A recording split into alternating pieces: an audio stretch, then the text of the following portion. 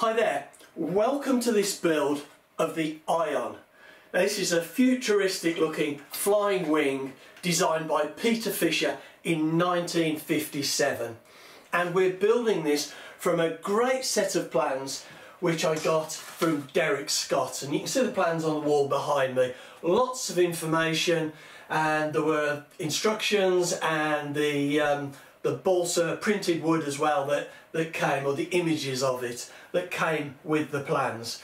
And if you have a look in the description below, you'll see a link to Derick's uh, website where you can get a copy of these plans at a really reasonable price. Great service as well.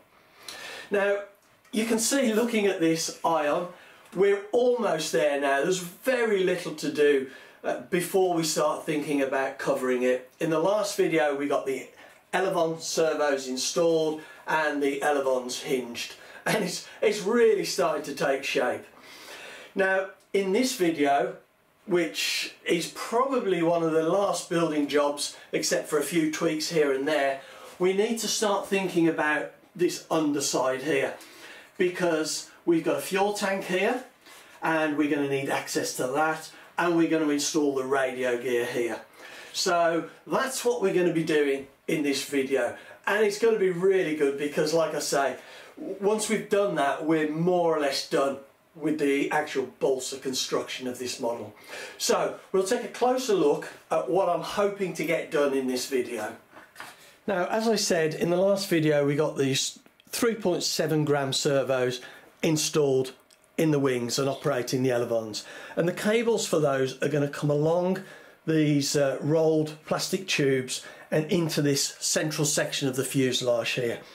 And I think it's worth having a look at the equipment, the, the radio equipment that I want to install in the fuselage here. And I'm trying to keep this as light as possible. And so, like I say, we'll have a quick look. Now, I fly FlySky, and this is one of their light receivers and I think this is about five grams, seven grams. And then we've got a few variations on batteries that I could use. I'm trying to keep the weight as small as possible. Now this is a 100 milliamp hour battery which weighs what three grams. Now I can get 10 minute flights with this and I've got a number of these so I could just replace it every time I want to have a flight and that would work fine. If I want, I've got a, a slightly larger battery here, 220 milliamp hours. These are all both, both single cells, and this is what, five grams. Now, the battery I use is going to depend a little bit on the CG of this model. If I need more weight to come back or to go forward to get this balanced, then I might vary the battery I use finally in the model just so that we don't add lead we add battery which is useful. So the bigger the battery obviously the the better it is but we want to keep the weight down. And I've also got this battery here which is 30 grams and this is what 300 milliamp hour? It's um, nickel metal hydride. Now if I'm hoping to use this battery to be honest. So that and the radio is what 12 grams, couple of servos. We're talking of radio equipment less than uh, than than 20 grams, so that will be great. And uh, what I'll do now is I'll move the uh, the fuselage closer to us, and we'll have a look at where we're planning to put this. Like I say, it's very light equipment, but we'll increase the size of the battery as we need to to uh, to get this model to balance correctly. So with the fuselage, as I said earlier, we've got the fuel tank here. And so I want to make an access hatch to get into that. It's not something I envisage getting into very often, but I don't want to have to cut a hole in the model if I need to change the, the, the fuel pipes, for example, the, the hose. So I'm going to make it just a small hatch here that comes off and I'll probably just have a single um, hex head bolt, domed head bolt that will screw that down. So I'll put a bit of sheeting across here, across here, and then we need to think about how the tissue and the laminating film, which I'm going to use to cover this model, is going to finish and attach to this edge. So I will put a thin strip of balsa down there to widen that up so we've got a fixing point. Same also down the side of this rib here, this central rib just to provide a fixing point because if we don't the tissue and the laminating film would just pull off a piece of balsa that narrow so that's quite an easy job I think and I'm going to put in some shear webbing on these spars here. It was something I left undone when I did the shear webbing on the other sections. I just wasn't sure how it was going to work with access and particularly if I do this and I'm going to fuel proof inside there so that if we have a leak from there hopefully it won't come back into the radio equipment. Now the radio equipment I'm going to put here. I'm going to make a, a small hatch on this side of the fuselage so I'm going to bring a piece of balsa down here which will provide a fixing point for the tissue and the film so it doesn't pull off so this bit will be totally covered now you can see I've changed the plastic if you've seen the previous videos you'll know that this plastic tube finished about here. And actually I've replaced it. I've um, taken it out and put in a longer tube and I've cut a section out of this central rib here. And if I turn that around you can see that maybe better there. Uh, I just wanted to be able to get the cable from the servo to this central section here.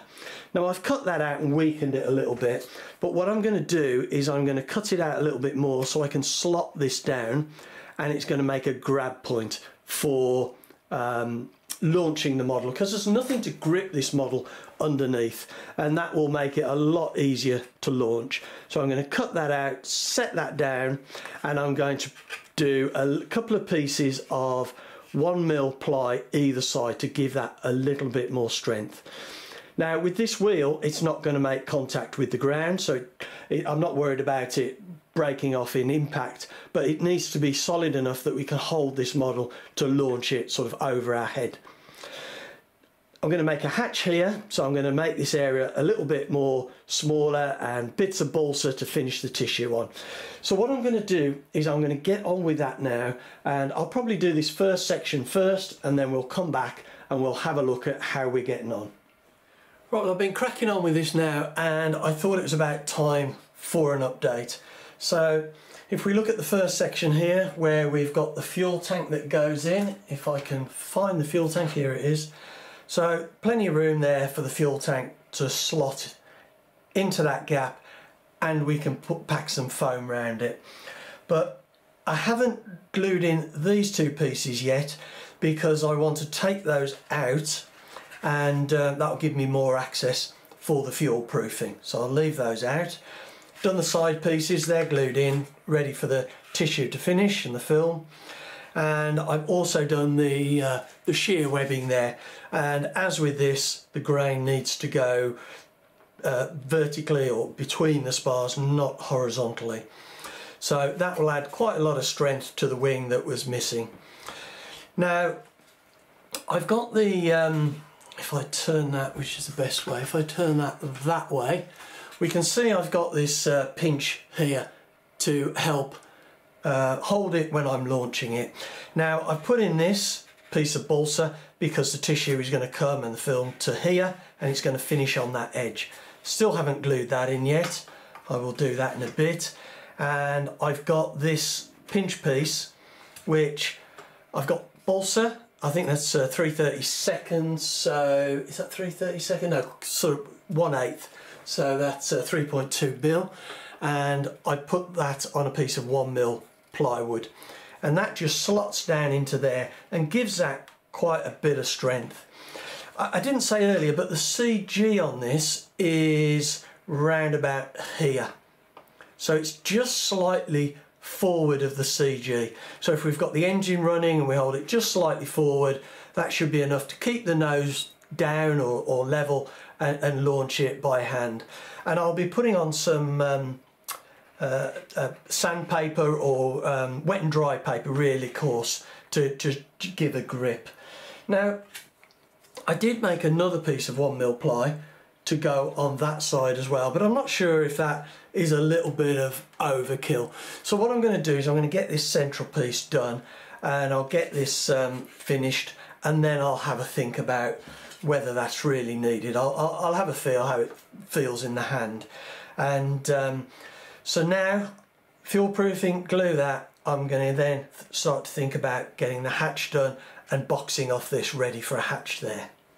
Right, I thought it was worth just showing you how I'm going to do the hatch for here. But before I get to that, I'll just say I've got this pinch piece finished now and uh, this bit of uh, attachment for the, the covering glued in. And I did, it, it, still needs sanding just to neaten it up a bit, but I did go with the one mil ply either side. With just the one on, it just wiggled a bit and, and it seemed like it was going to break. So I've done that and that feels really secure now. And I think when we're launching that, that will be a, a, a great help.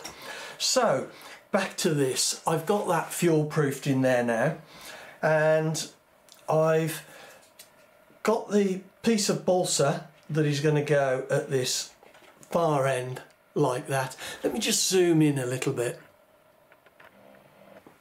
There we go. Right, I've got this piece of balsa that's going to go in that far end there. And what I've done is I've put on a piece of one mil ply just in there and then I've put some thicker balsa on the underside just so that this captive nut can be pulled into that and so once that's in there we can use this uh, cover which is just a piece of 116 balsa with a strengthening piece on the bottom and I've put um, CA on this. Actually, I'm using CA for all of this, but I've put CA on the top here just to harden it a little bit. And that will now screw down into there and if I take that out we can see that will just screw in and we just have to be careful when I'm doing this that we don't over tighten it and pull it through the um, pull it through the balsa because it is only soft balsa. Now to get this the correct fit what I did was I put this cross piece on and then I sanded it down until it was a nice uh, fit with this, so the same height as that. It was a little bit proud because it was 116 and um, and there that's fine now. So I'm going to do a similar process with the other end because to I've got this bit of balsa that goes in here like that and I'm going to make a tongue on this that hooks underneath. So hook underneath and then screw down into place. Now on the underside of this, just to provide a little bit of strength, I've put some one mil plywood. And when that's in there, now that will be a lot stronger for this tongue. So I'm going to do a similar process now. I'm going to put on a piece of balsa. I think this is one eighth and then I will put on a tongue, a piece of one mil ply and that will just hook under like that. And actually that is a pretty good fit I think. If not I would check sand this and then put the uh, the, the plywood on. But I think with that piece of balsa it should work absolutely fine. But I just thought I'd show you how I was making this hatch. Well, I've now got the hatches finished on the underside of this and the, uh, the fuel tank fitted. And you can see there we've got the, the finished hatches. We've got the one here which is for the fuel tank and then we've got another one for the radio. And we've got a breather pipe coming out of here from the fuel tank and we've put a, a filler pipe here coming out. Now both these pipes uh, are going to be uh, black plastic so they're not going to show up quite as much and I'll, I'll trim this of course. But we'll have a closer look at this now. Okay well first of all we've got the hatch for the radio equipment and as I've said before we've got balsa around the edge so we can secure the covering nicely and we've just got a simple uh, latch on this to lift that up and I thought I'd make it as easy as possible to operate that because I'm not going to have a switch I'm just going to lift that up put the battery in and then close the hatch. And so I'll take that off again and we can have a, look, a quick look inside. There's just a, a, piece of balsa there which is supporting the fuselage and we'll put a bit of foam in there or um, maybe some velcro just to hold the receiver and the battery. Very small items to go in there now, if we have a look at the hatch for the fuel tank, this will be kept closed most of the time unless I need to change the hoses. And what I'm probably do is actually cover over this and then put the screw in so that it's actually nicely sealed. And if I want to get in there to change the hoses, which isn't going to be very often. I'll just take a knife around. Maybe. I, will see how that goes. But if I just undo the, um, the bolt and that just lifts out and we've got the foam and, uh, and we can see the tank just sitting in there. And there's the two pipes on top of there. If I just get my forceps I can take that out. I might regret suggesting to do this because it'll pull the hoses but and I need to feed this hose down because this hose just doubles back. There we go. Okay so we've got the two hoses. The one doubles back and comes out here which is basically going to be a breather come overflow. So when I fill the tank, excess fuel will come out of there. We've then got the, the feed, which will go to the engine, which goes down and through the bulkhead. And then we've got the filler pipe here. And I've threaded all these through and when it's covered, we'll still be able to get access to, uh, to all of them and, uh, and be able to thread it. Uh, and having the filler coming out the top, I mean, I could have brought the filler out the bottom, but then when I fill it up, it's just going to flood fuel out when it's full onto the model. Far better, I turn it over, I fill it up from here, and then the excess I can keep an eye underneath until it just flows out the bottom. I think that will probably be the best way to keep the model clean. And as I said, these are going to be black plastic hoses eventually uh, once this is all covered and set up and I'm going to be painting inside of the cockpit black so hopefully this won't show up too much the hose and everything through the windscreen. Well it is dead exciting to have got this to this stage because essentially the main building work is finished now. We've got the elevons and the servos fitted. We've got the fin that will eventually go onto the fuselage once it's covered and we've got our end plates done. It all needs a really good sand now in preparation for the covering. But there are just a couple of little jobs I want to do before I do I, I start that covering. I've got the engine and I want to think about a muffler and just getting the engine fitted and making sure that that is all good and uh, I'm not going to get it covered and find I need to or should have done something else. So I want to get the engine fitted and, and make sure that's right. I've also been thinking about the CG and I want to make sure that we're going to be able to achieve the CG with the radio equipment and the battery and placing that in the right place in those hatches. And just checking that this actually all balances out. Again I don't want to find that I should have done something before I covered it after I've covered it. I know the balance of this is going to alter once I get it covered because we've got extra weight of the covering material but I want to get an idea and also rather than balancing this on my fingertips I'm thinking of devising something that will allow me to balance it a lot better, a lot more accurately.